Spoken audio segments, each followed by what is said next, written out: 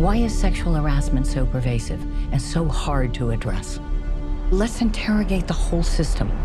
Hi, my name is Jodi Kantor. I'm an investigative reporter for the New York Times. What have you got? I was told that the wrongdoing in Hollywood is overwhelming.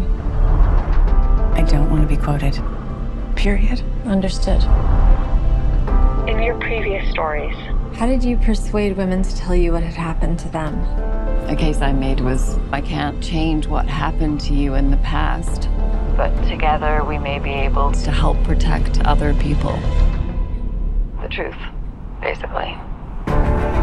What is it exactly that we're looking at here? These young women walked into what they all had reason to believe were business meetings. I can still see it the hotel room, the floor plan. He kept trying to touch me. I asked him to leave me alone.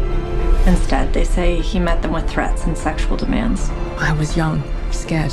Hi. We're from the New York Times. I believe you used to work for Harvey Weinstein.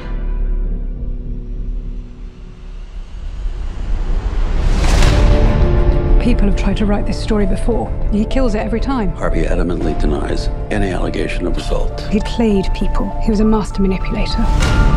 Will you give me just one chance to talk to you? Are you sure that this isn't just young women who want to sleep with a movie producer to try to get ahead? This is bigger than Weinstein. This is about the system protecting abusers. The women who receive these settlements, they can't speak out. They'll be sued if they do. But if someone could speak freely about the payouts. What payouts, John?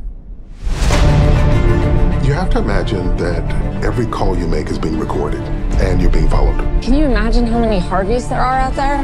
You want to get me killed? Do you wish you hadn't signed up for this story? Do you? No. The only way these women are going to go on the record is if they all jump together. We're all here, Harvey. Who have you talked to? I have three daughters, and I don't want them to ever accept abuse or bullying. I'll go on the record. Go right. It's time to write. This is all going to come up.